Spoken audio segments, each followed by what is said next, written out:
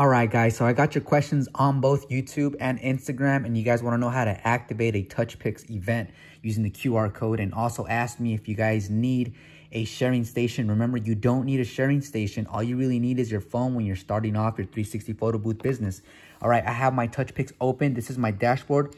We're going to activate this event we were working on not too long ago. This is the event where we were uh, coming up with the overlay and the MP3 song. So what I'm going to do is I'm going to click on the QR code right here and then I'm going to take my phone, the one I'm going to be using to record, and I'm going to open up my TouchPix app, which is right here.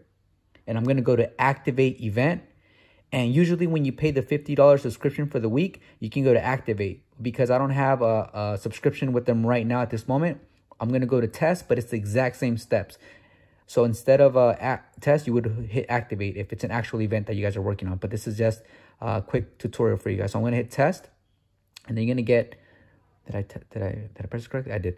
Okay, so you're gonna get this little icon right here pop up and it wants you to scan that QR code for the event that you're at right now. So let's go ahead and scan this uh, QR code.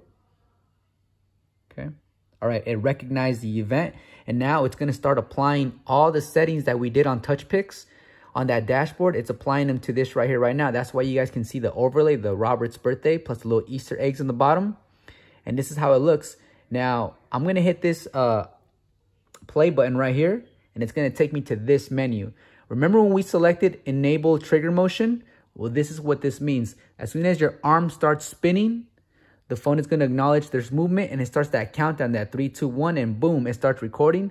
Let's go ahead and just record a little bit of the house. The house is kind of dirty, but it's okay. Okay, so we record for six seconds, about five seconds. And now this is what I mean by this is what I like keeping at a minimum is all the effects and the length of the video because it's adding the slow-mo, it's adding the overlay, it's adding the MP3, it's adding all the boomerang effects and stuff like that. So that's what it's doing right now. It's rendering the video. If you guys have an older phone, this might take longer. If you guys have a newer phone or a powerful iPad, this is going to be much faster. I'm using an iPhone 12 mini and it usually takes, it's usually under uh, two minutes. So right now it's adding the audio, and here's a demo.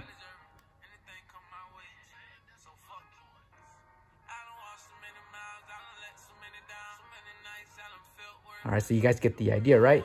And so when the video is done, uh, most of the so most of, for the most part, this part will be shown on the external screen if you guys have an external screen. But if you guys don't, it doesn't matter. You guys are barely getting started. You're gonna have it here on your phone. The next thing you do is you go to AirDrop it, boom, and then just select the people you want to airdrop it to and then it's on to the next video. I hope this video helps. Oh, I almost forgot.